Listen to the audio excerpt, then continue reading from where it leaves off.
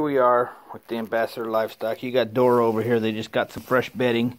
Dora decides she likes to roll in it, and now she's going to eat her bed. Because, you know, that's what good sheep do. Dora the sheep. Right? You want to say hi? Dora, you want to tell them? That's tasty bedding? Tasty straw? Or you going to smell the phone again?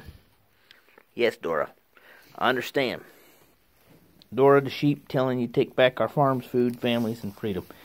Time we get corporate money out of our government and bring back we the people. And there's Miss Coca. She's for sale. You can take her home with you. 150 bucks is what I'm asking for.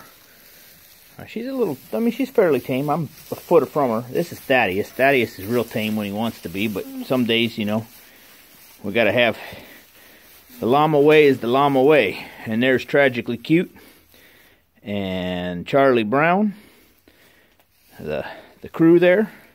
They're hanging out. They got brand new bedding down here.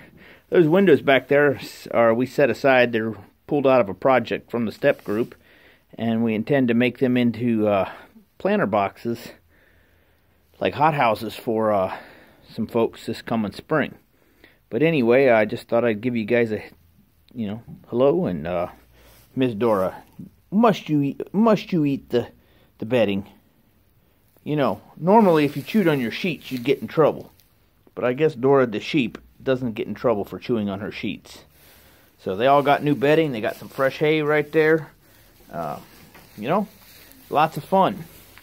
In the wintertime, and that's how you keep the animals warm. You keep them in a dry barn with some nice thick layer of straw or corn stubble and gives them something to stay warm with. But, uh, you want to say anything, Mr tragically cute. You want to talk? Here, let's have a conversation. I know Coca, the human's coming back over. Hi, Charlie Brown. Oh, everybody's going to run that way. We don't want to. We don't want to talk to the human tonight. We're too concerned about this new bed stuff we got going on. So anyway, you guys have a great night.